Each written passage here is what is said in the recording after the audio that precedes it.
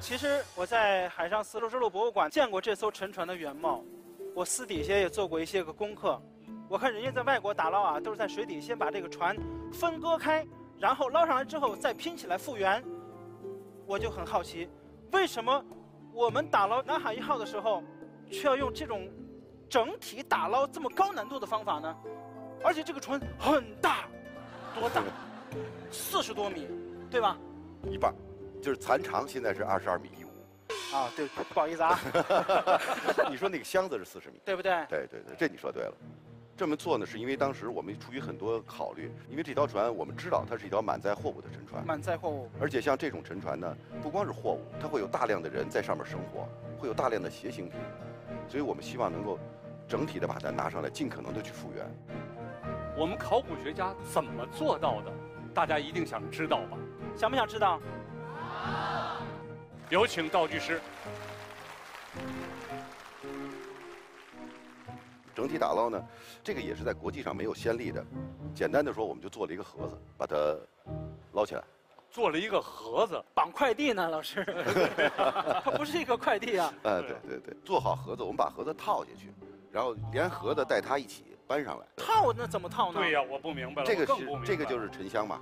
小月月说四十多米就是这个。对对，它的长是有四十米长。嗯，我还有一个疑问，你这往上一放，你怎么能让这个沉箱可以到？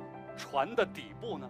对对，这个张老师您问的特别好，因为你要把它压到这个箱子里边来嘛。对啊，对。这个小月力量比较大，分量大，你可以试试能压不压呀？试试啊。对，往下压。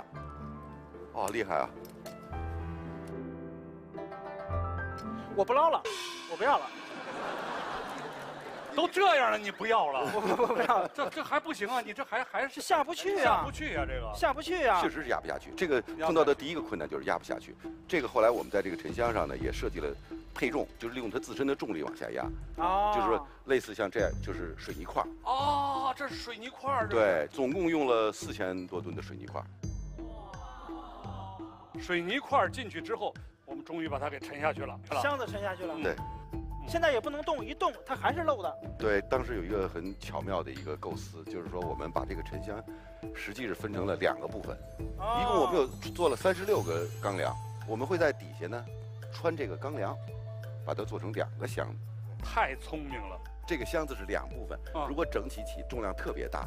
后来我们在水下呢，就是等于是做了一个切割，把这个箱子的底下并没有带上来。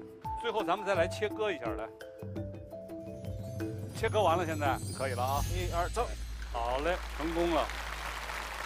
我们现在这么说很容易，但真正在做的时候是非常非常难的。哇！就是所有这些工作都要在水下三十多米的情况下去完成，而且是没有能见度的。